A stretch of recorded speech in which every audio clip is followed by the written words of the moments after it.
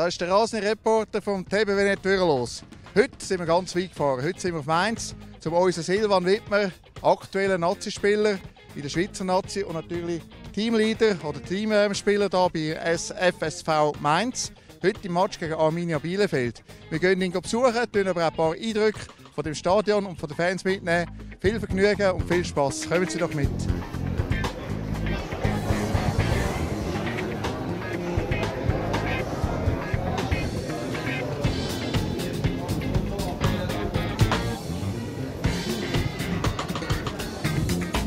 Wie heißt du? Du bist ein Fan von Mainz, hä? Ja, absolut. Äh, Anton mein Name, moin. Ah ja, und du bist ein großer Fan, du kennst auch die Spieler von Mainz. Wer, wer ist der Beste? Äh, der allerbeste ist aktuell äh, Onisivo und, und Zentner, der Torwart. Aber, aber Wittmer finde ich auch super stark. Ja. Und Silvan, der zufrieden mit dem Transfer? Total. Also das ist bisher für mich der Transfer eigentlich des Jahres, weil Da Costa ist gegangen aus der Leihe nach Frankfurt und, und Wittmer wiedergekommen. Der macht den Job perfekt. Richtig gut. Dann erwarten wir heute ein Tor von ihm und ein Sieg sowieso. Hoffentlich, so wie das gegen Gladbach. Das war schon mega in der Hinrunde. Wenn er so eins schießt, dann bin ich definitiv froh. Auf jeden Fall. Ein ja. gutes Spiel, danke vielmals. Merci. Ebenfalls, ja, Dankeschön. Ja. Tschüss.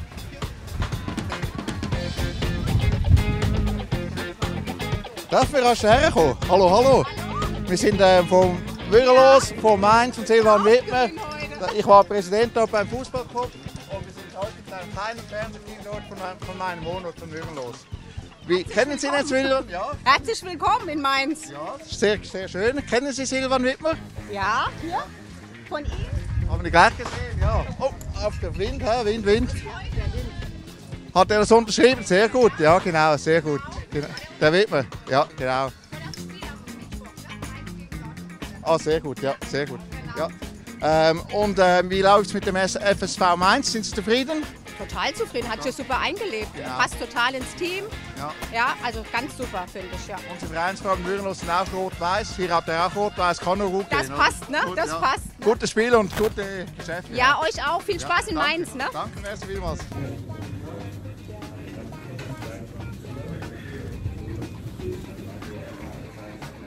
Was machst du jetzt? Wir gewinnen heute mit Silvan Wittmer. Ja? Ja. Denkst du, er ist äh, gewinnen? Wer gewinnt und er schießt ein Tor, ein Kopftor. Okay. Ich bin ganz sicher. Gut. Hallo. Ja.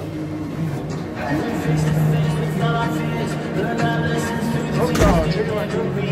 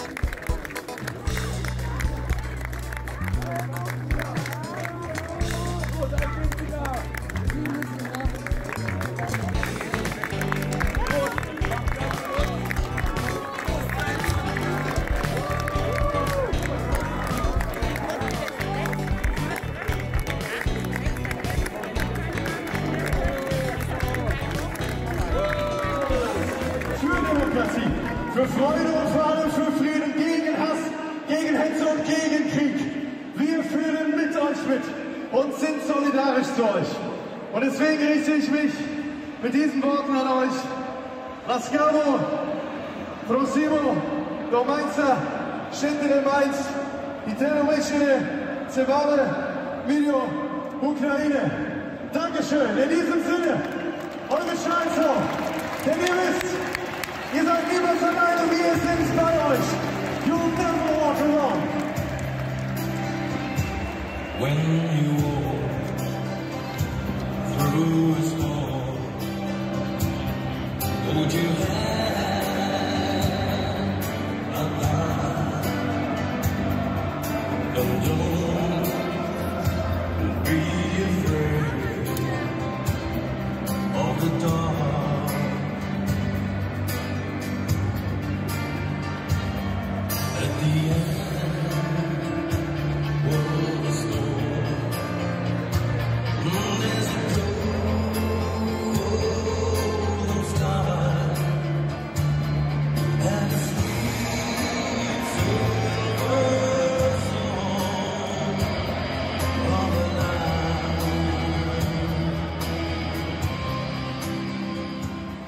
Silvan Wittmer, schönen guten Morgen und danke vielmals, dass du dir Zeit genommen hast für unser Fernsehen.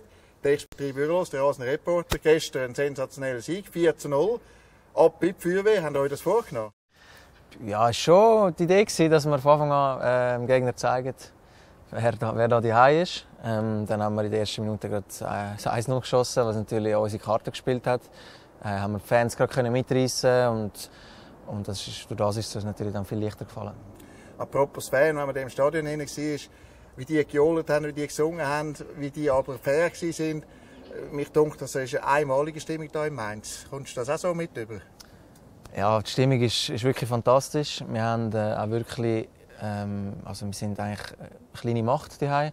Wir haben zwar jetzt äh, gegen Dortmund verloren, aber ich glaube, sonst in den letzten acht oder neun Spielen alles gewonnen oder, oder keins verloren auf jeden Fall. Ähm, wir spielen immer gut mit den Fans im Rücken und die Stimmung ist, ist bombastisch. Und äh, wie gesagt, ja, wenn man natürlich so Fans hat, die wo, wo einem vorantreiben und, und pushen, dann, dann, dann, dann geht es einfacher. Dann, dann kann man noch mal mehr Kräfte mobilisieren.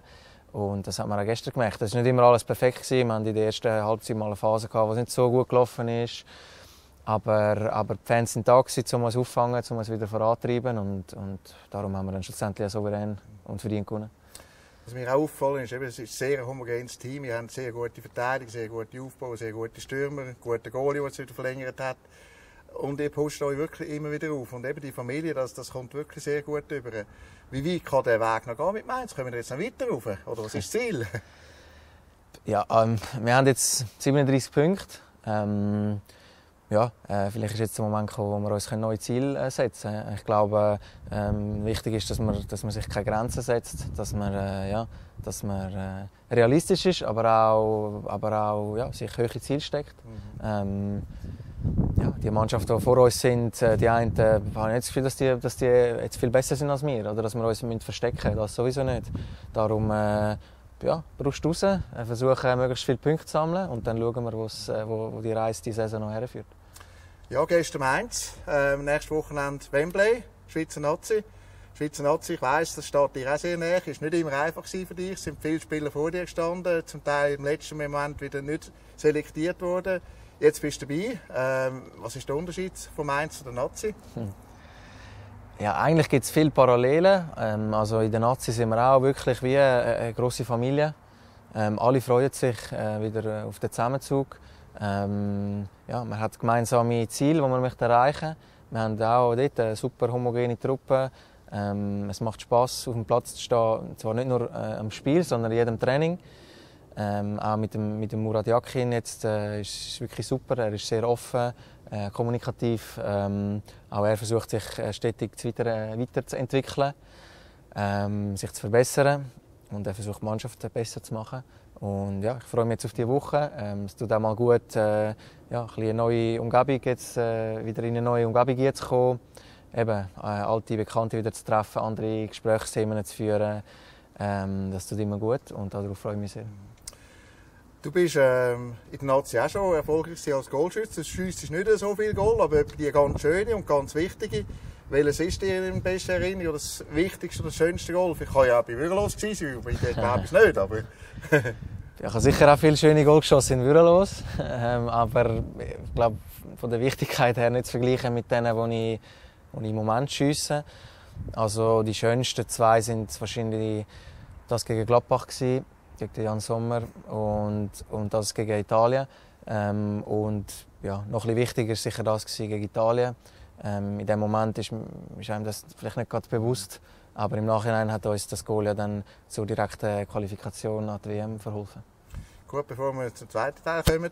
Jan Sommer geht noch rasch. Ähm, ist er ein bisschen böse auf das? Oder sind, glaub er ist glaube ich, ein ähnlicher Typ wie du, oder? Ich glaube, ihr versteht euch wahrscheinlich recht gut und da hat er wahrscheinlich auch wirklich gewonnen. Obwohl es wahrscheinlich auch ein bisschen gefuchst hat, dass der einen ist. Ja, ist genau, genau so, wie du sagst. Also wir verstehen uns sehr gut. Und er ist dann äh, nach dem Spiel noch auf dem Platz ist er auf mich zugekommen und, und hat mich gefragt, ist jetzt nicht dein Ernst, oder? ähm, und ich habe gesagt, mal, ist mein Ernst. Nein, er, hat's, äh, er, hat, er hat dann, glaube ich, im Interview nach dem Spiel hat er gesagt, er, er bekomme nicht gerne ein Goal, aber wir mögen es, mögen es gönnen. Und das zeigt natürlich auch, was für einen grossartigen Charakter er hat. Und, äh, und äh, ja, mir ist egal, gegen wer ich Goal schiessen. Ähm, ich, ich, er ist ein guter Freund von mir, aber ich nehme da keine Rücksicht. Super, danke vielmals, Silvan. Gehen wir noch weiter. Gut. Super. Silvan, da stehen wir im neuen Stadion vom SV Würlos, rot-weiß. So ein schönes Stadion haben wir zwar nicht, aber es passt wieder. Rot-weiß hier in Mainz, wunderschönes Stadion, aber das ist nicht euer Hauptstadion. Wo sind wir da? Da sind wir jetzt äh, im Bruchwegstadion. Ähm, da ist unser Trainingsgelände, ähm, unsere Kabine, wo wir uns eigentlich täglich umziehen, täglich trainieren. Ähm, ja, das Stadion ist bis vor elf Jahren, glaube ich, äh, das Hauptstadion von Mainz. Und ja, dann haben sie sich entschieden, ein neues zu bauen. Und das, obwohl ich es schön finde, äh, auch von der Größe super, ähm, ja, ist jetzt nur noch eine zweite Wahl. Mhm. Zürich, als alles angefangen hat, ähm, hast du den Urs Becken als Trainer gehabt. Dort bist du ein Stürmer, gewesen, hast einen Haufen Goal geschossen. Wer hat dir das Goalschiessen beigebracht, Zürich los? Oder ist das auf deinem Blut drin? ja, nein, also ich habe es schon im Blut, ja, aber ich glaube, Trainer äh, spielt eine wichtige Rolle. Ja. Der Urs äh, habe ich, hab ich zwei, drei Jahre als Trainer. Ähm, bei ihm habe ich, hab ich viel, viel gelernt. Der, der Chucky habe ich als Trainer, der, der Dino. Spitze Hans-Peter Gavenna. Ähm, ja, genau, ja, genau, ja, genau. Ja. Ähm, pff, wer wer gibt es noch? Gute Mischung. Ich, ich, ja, ich hoffe, ich vergesse jetzt ja, niemanden, ja. aber ja, ich, ich habe von allen natürlich äh, können etwas lernen. Ähm, damals ist noch äh, der Spaß im Vordergrund gestanden, ist ja klar. Ähm, aber äh, ja, ich habe viel Goal geschossen und viel Spaß gehabt. Und ja, das sind äh, Zeiten, die ich, die ich nie mehr vergessen Schön. Und danach bist du natürlich auch entdeckt worden, respektive du hast ja gemerkt, dass es da weitergeht, bist dann weitergegangen, Stationen. Und wann oder wo ist der Moment gekommen, wo du vom Stürmer zum Verteidiger geworden bist? Das war, also ich bin dann irgendwann äh, mal ähm, äh, Flügel gewesen, ähm, weil, weil ich halt einfach sehr schnell war. Ähm, hat es dann geheißen, du spielst jetzt mal auf dem Flügel. Und dann bin ich etwa 16 gewesen, da bin ich schon beim Team Aargau gewesen, ähm, glaube in der U16 oder in der U18, ähm, wo man dann gesagt hat, du hast auch defensiv Qualitäten, du kannst das Spiel eigentlich einigermaßen gut lesen. Ähm, probieren wir doch Außenverteidiger mal aus. Und im Nachhinein muss ich sagen, bin ich, bin ich sehr äh, glücklich über die Entscheidung, weil ich finde es äh, eine geniale Position. Du musst äh, als Außenverteidiger ja, musst eigentlich äh, alles beherrschen. Du musst können gut verteidigen, gut angreifen, du musst können gute Flanken schlagen. Äh, es wird auch verlangt, mal ab und zu mal das Goal schiessen. Äh, musst eine gute Kondition haben, gute Grundschnelligkeit und, und ja, das, das bringe ich zum Glück alles mit. Und dann ist der Weg weitergegangen. Eben, mit der Aarau bist du auch noch Meister geworden, aufgestiegen. Und über Udine, also Basel wieder zurück, bist du jetzt in Mainz gelandet. Mir ist immer aufgefallen, du bist ein Typ, ähm, wo bei dir muss einfach alles stimmen. Du bist sehr fokussiert, aber dir muss auch das Umfeld stimmen. Ähm, ist das ein Teil von deinem Erfolg, dass du es so weit gebracht hast, wo vielleicht ein Junior jetzt von uns auch profitieren könnte, wo er einfach muss auf so Sachen schauen muss, dann kann er es auch so erreichen, wie du erreicht hast? Ja, äh, natürlich. Das Umfeld ist mega wichtig. Ähm, ich kann so viel Kraft danken, wenn ich Zeit verbringe mit meiner Familie. Ähm, vor allem auch nach, nach Niederlagen, nach vielleicht schwierigen Phasen, auch Verletzungen. Ich bin jetzt zum Glück schon seit, seit über einem Jahr absolut verletzungsfrei und kann jedes Spiel durchspielen. Aber Verletzungen gehören dazu, zum Sport, zum Fußball. Und das sind dann Momente, wo man, ja, wo man niedergeschlagen ist wo man äh, Aufmunterung braucht, wo man vielleicht Ablenkung braucht. Und ja, ich bin froh, dass ich so eine tolle Familie, die mir das alles kann, kann geben kann, ähm, die mir Kraft gibt in, diesem Moment. Und ja, einen grossen Teil von meinem, von meinem heutigen Erfolg verdanke ich auch ihnen. Wenn du zurückschaust, äh, Würelos, äh, hast du dort noch Kontakt oder, äh, zu den Spielern? oder äh, zum Dorf? Oder wie weit ist der, der Kontakt noch zu Würelos? Ja, natürlich habe ich noch Kontakt. Ähm, also mein, mein Papi wohnt ja noch in Würelos. Ähm, Kommt aus uns biken, sehr stark. ja, ich weiß, ja, hat er auch erzählt. Ähm, äh, äh, eigentlich mein bester Kollege, der Fabian Schmid, äh, wohnt noch in Würelos. Ähm, ich habe noch Kontakt ab und zu mit dem Dario Hardecker, ähm, mit dem Cedric Meyer noch ab und zu Kontakt. Das sind so ein bisschen die, die, die jetzt noch geblieben sind. Und ist klar, Würelos ist das Dorf, wo ich, wo ich aufgewachsen bin, wo ich meine 20, ersten 20 Jahre von meinem Leben verbracht habe. Und, äh, und es ist immer, es ist immer cool, wenn ich, wenn ich wieder dort bin und äh, auch gesehen, wie, wie sich das Dorf, äh, wo ja nicht mehr so klein ist, wo einfach stetig entwickelt. Und äh, ja, ich bin immer wieder gerne dort. Wenn wir den Namen Frey ins Maul nehmen, was bedeutet der Name Frey? Ist ja hat eine gewisse Bedeutung für dich, oder? Ja, stimmt, ja, ich kenne viel äh, Frey. Ähm, der, der Fabian Frey ist ein enger Kollege von mir. Ähm, bin, der, der Alex Frey war kurz Trainer bei mir in Basel, äh, nur interimistisch, aber, äh, aber äh, ja, er war ein Teil, ein Teil von meinem Abenteuer in Basel. Ähm, ich habe mit dem Michi Frey ähm, lange in der Nationalmannschaft zusammengespielt, äh, Junioren-Nationalmannschaft. Habe ich aber vergessen, ja, dich natürlich. ähm, ich glaube, that's it. Ja, und der Michi Frey, das Thema, wenn er schiesst, Kiste an Kiste in, in Belgien, wünschst du dir den zurück? Natürlich muss der Nationaltrainer entscheiden, aber äh, vom Typ her äh, reisst schon, oder? Ja, er ist, er ist einer, der die Mannschaft kann mitreißen kann. Ähm, ist sehr ein lustiger. Ähm, ein, ein, ein spezieller, aber ich meine das nicht negativ. Einfach, er ist anders als viele andere. Er ist äh, sehr, sehr ehrlich, ähm, mega ehrgeizig. Ähm, klar, äh, der Trainer macht äh, seine Entscheidungen, macht sein Aufgebot und er wird sich schon da seine Gedanken darüber gemacht haben. Aber der Michi Frey ist sicher auch einer, der da zum erweiterten Kreis gehört. Kennst du Silvan Wittmer? Das Spiel? Ja. Ja, super Spiel. Super. Ist jeden Match da hier dabei?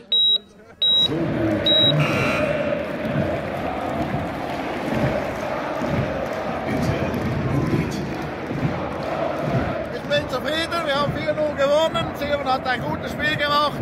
Drei Penalty, ein Pass hat er gegeben. Super. Was willst du mehr?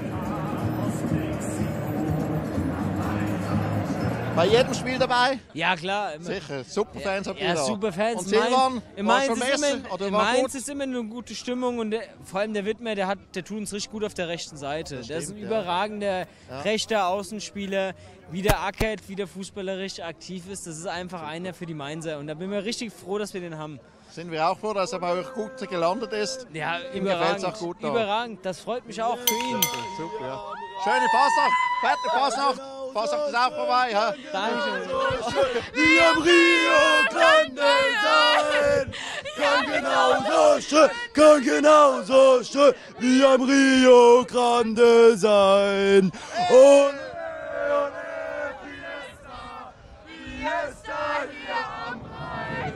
kann genauso schön, kann genauso schön wie am Rio Grande sein. Kann genauso schön, kann genauso schön wie am Rio Grande sein. Wie war das Spiel bei euch? Super war's. Bist du immer am Spiel da in Mainz? Nee, nicht immer. Nee. Das Aber- erste Mal? Nee, nee, Nee. schon öfter, ja. Habt ihr auch etwas gefroren und war das Spiel so heiß? Das Spiel war heiß, also, aber war ein geiles Spiel. Wir haben die Elfer direkt vor uns gesehen. Also hat Spaß gemacht. Alle elf Meter gerecht? Äh, die ersten zwei auf jeden Fall. Beim dritten habe ich es nicht genau gesehen, aber ich nehme es mit. Aber ihr habt eine tolle Stimmung hier im Stadion und einen guten Fanclub. Das ist sehr schön, hier Fußball zu schauen. Ja, immer. ja, so- Das sollen wir wiederkommen. ja, immer. Gut, wir kommen wieder. Danke vielmals. Tschüss. Ciao. Und Silvan Wittmann hat gut gespielt. Ja, immer. Danke, danke. So, da ist das SWR. Ja, das Konkurrenzfernsehen von ZDF. Aber jetzt sind wir da mit, mit dem Silvan. Silvan, wir kommen eigentlich schon zum Schluss. Und ich habe eigentlich nur noch die schöne Ehre, dir ganz liebe Grüße mitzubringen aus Würelos. Einerseits natürlich vom Verein. Mit dem Wimpel, von den wichtigsten Leuten da ein bisschen. Und natürlich hinten drauf auch noch der Gärtnermeister, ist auch noch drauf. Und dann haben wir gestern noch getroffen den George mit der ganz neuen CD, mit Schweizer Liedern. Das ist ein Bauernsohn aus dem Seeland. Und liebe Grüße auch von ihm. Er ist auch ein grosser Fan von dir und vom Schluperolf auch. Alles Gute. Danke. Und dann geht es noch weiter. Ja, dein, einer der ersten Trainer, die ich immer sehr gerne hatte, wo die natürlich jetzt sehr viel verfolgt und mit dir einmal Udine angeschaut hat, Udinese, Mhm. vom Urs Bäckli. Liebe Grüße, hat dir auch ein Video reingestellt, Mhm. gell? Und alles, alles Gute gewünscht. Danke. Und mir persönlich auch natürlich auch noch, das bringt die Assistentin gerade mit da, Körbchen für deine Frau mit einem Honig. Und da gleich vor der Tür, Schweizer Schocke, das hast du nicht immer. Ja, du, du kannst jetzt, komm daher da, das ist für den Silvan und die Familie. Das, ja, da, mit Kamera ist immer Schlitzer, ja. Da schönes. Blümchen und da Osterhäschen. Danke Und das vielmals. kannst du mit der Frau sonst noch geniessen und das der Kind, gell, gut, die Kinder sind noch ein bisschen, du musst wahrscheinlich auch du essen. Ich, ja, ja, äh? ich, äh, aber das ist kein Mühe, es ist ein Ja, Dörf. ich darf auch noch als Erinnerung, genau. Danke vielmals. Ei, ei, ei. Und wenn wir gerade bei Rot-Weiß sind, ich habe da so ein wunderschönes Trikot bekommen von dir. Eben, sagst du Kollegen hier in Nazi, vielen herzlichen Dank, ich habe mega Freude. Und ich freue mich natürlich immer, wenn ihr einen riesen Erfolg habt. Sollte dir das letzte Wort noch geben, was willst du unseren Zuschauerinnen vom Rasen Reporter, von Würrelos noch mitgeben oder den jungen Fans auf den Weg geben? Ähm, ja, ein lieber Gruß an alle äh, Würreloser, die jetzt das äh, schauen. Ähm, äh, hat Spass gemacht äh, mit, dir, Güx. Und äh, ja, allen jungen äh, Burschen äh, und Mädchen, die Fußball spielen, äh, ja, geben Gas, aber haben Spass am, am Fußball. Äh, ich habe auch so angefangen, ich jeden Tag äh, wollen, wollen gut shooten, sei es äh, im, im, im Garten bei uns daheim oder auf dem, auf dem Ländli. Ähm, ja, so hat es angefangen und äh, ja, glaube daran. Aber eben, wie gesagt, äh, Spass ist das Wichtigste und äh, wer weiß, wo dann äh, der Weg noch führt. Und bei mir hat es äh, zum Glück äh, äh, gelangt bis, bis ganz nach oben und darauf bin ich sehr stolz. Wenn du einen Erfolgsgarant brauchst, dann musst du auf mich anrufen, dann komme ich im Match schauen, dann gewinnen wir wieder 4-0. oder? Ja, ist gut, abgemacht. Also alles Gute, Silvan, toi toi toi Danke. und danke für die Zeit, die du hast. Hast du Geld frei, gell? Ja. Alles Gute, Danke. danke merci.